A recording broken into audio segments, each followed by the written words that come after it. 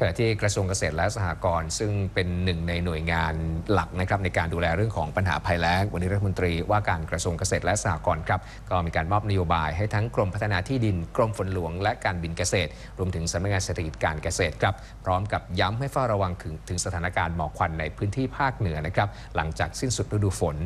พลเอกชัดชัยสาริกัญญะรัฐมนตรีว่าการกระทรวงเกษตรและสหกรณ์มอบนโยบายแก่ผู้บริหารกรมพัฒนาที่ดิน กรมฝนหลวงและการบินเกษตร และสำนักงานเศรษฐกิจการเกษตร โดยให้กรมฝนหลวงหาแนวทางช่วยเหลือ และสนับสนุนการเติมน้ำในเขื่อนให้กับกรมชลประทาน รวมทั้งดูแลเครื่องบินที่มีอยู่ และจัดหาเครื่องบินใหม่ที่เหมาะสม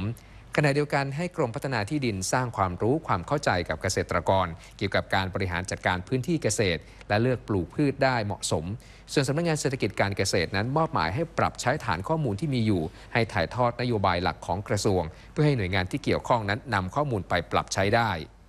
ด้านนายเลอศักดิ์เริ้วตระกูลไพบูลอธิบดีกรมฝนหลวงและการบินเกษตร กล่าวถึงสถานการณ์หมอกควันในภาคใต้ว่า ขณะนี้คลี่คลายไปในระดับหนึ่งแม้ยังมีหมอกควันสูงอยู่บ้าง แต่ยืนยันครับว่าไม่เกินค่ามาตรฐาน จากการตรวจสอบพบว่ายังมีจุดที่เกิดหมอกควันสูงในประเทศอินโดนีเซีย จึงเตรียมรับมือโดยการย้ายฐานการทำฝนหลวง จากจังหวัดระยองไปที่จังหวัดกระบี่รวมถึงขอความร่วมมือจากกองทัพอากาศจัดทำฐานการทำฝนหลวงในพื้นที่กองบิน 56 จังหวัดสงขลา